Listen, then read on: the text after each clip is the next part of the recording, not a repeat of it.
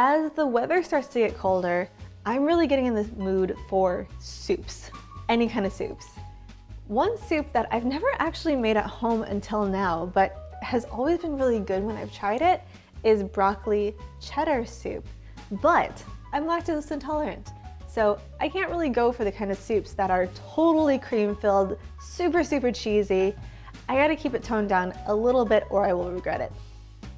I will regret it. So this soup, it's broccoli. It uses the broccoli to add to the heft of the soup and obviously the flavor, but then it also uses a potato to add to the creaminess without actually needing cream.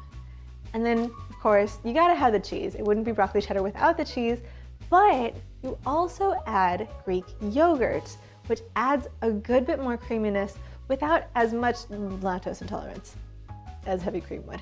But overall, it's a really tasty soup.